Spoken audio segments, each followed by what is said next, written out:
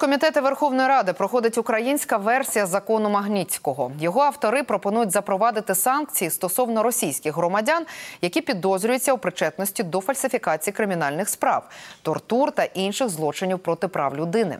Сполучені Штати ухвалили такий закон 2012-го, а за чотири роки його глобальну версію, що запроваджує санкції проти корупціонерів і порушників прав людини по всьому світу. Від початку акт Магнітського був відповіддю на вбивство російського юриста Сергія Магнітського, який розслідував рейдерську атаку на фонд Ермітаж Кепітал у Москві.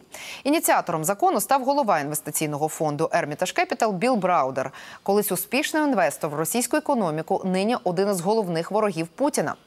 Про те, чого Україна має ухвалити свій закон Магнітського і наскільки болючим став останній раунд американських санкцій проти російських олігархів, розкаже кореспондент Голосу Америки Юлія Ярмоленко. Вона на прямому зв'язку з Вашингтона. Юлі, добрий вечір. Вам слово. Вітаю, Оксано. Як ви власне сказали, Біл Бра- Браудер це головний ініціатор і лобіст так званого акту Магнітського. І притягнення до відповідальності зухвалих корупціонерів і порушників прав людини спершу в Росії, які були причетні до смерті адвоката Магнітського, а тепер по всьому світу це по суті стало справою його життя. Офіс Біла Браудера допомагав і українцям розробляти власну версію закону.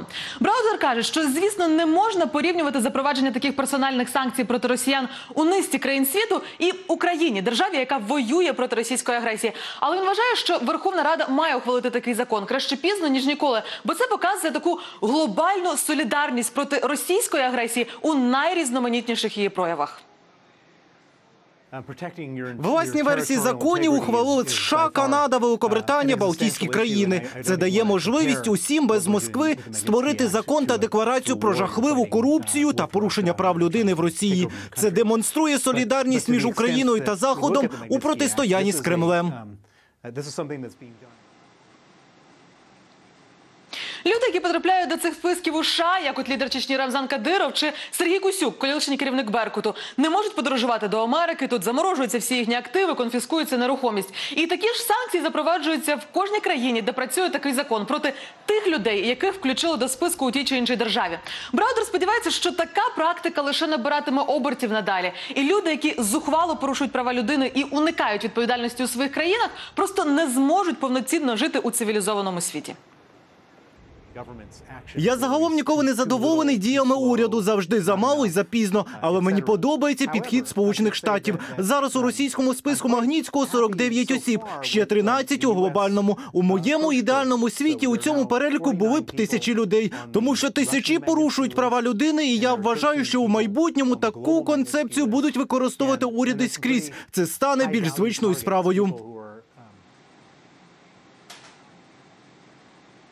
Оксана, до речі, Браудер також схвально оцінює найсвіжіші санкції проти російських олігархів у США. Кажучи, що вони фактично вдаряють по Путіну, коли компанії, які дуже прив'язані до міжнародних доларових операцій, не можуть навіть Microsoft Word користуватися. Це потужно порушує їхні операції.